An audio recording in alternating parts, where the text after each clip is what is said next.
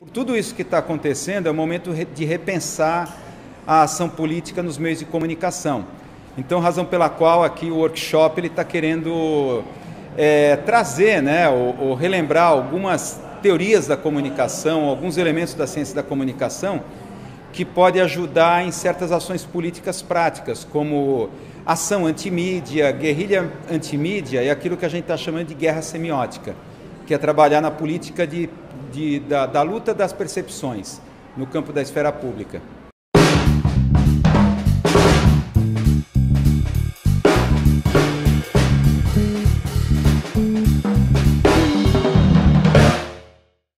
Bom, eu sou Wilson Ferreira, eu sou jornalista, professor universitário e também blogueiro. Né? Eu tenho, sou editor do blog Cinema Secreto Cine Gnose que discute tanto a área de cinema como as conexões de cinema, meios de comunicação e política, crítica do jornalismo e tal.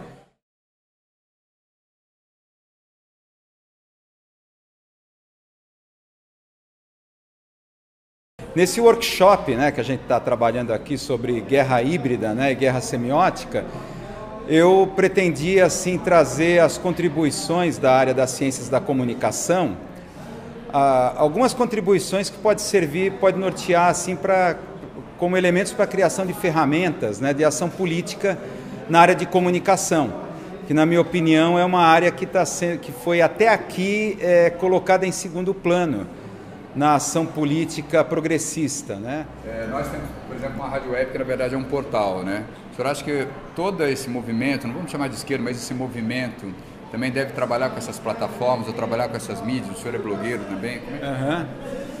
Não, eu, eu, acho né, que você deve trabalhar em. Assim como faz a, atualmente a grande mídia, né, quer dizer, do lado não progressista, que você cria essa consonância, você tem acumulação, consonância e onipresença. Eu acho que esse valor, essa, essa estratégia tem que nortear também as mídias é, independentes, alternativas. Então eu acho que as mídias independentes elas têm que se unirem, né, é, entrarem nessa consonância, né, para criar acumulação e onipresença. Quer dizer, hoje as tecnologias, novas tecnologias estão facilitando isso, né? Furar esse monopólio midiático das mídias clássicas, né, de massa, como cinema, rádio, TV.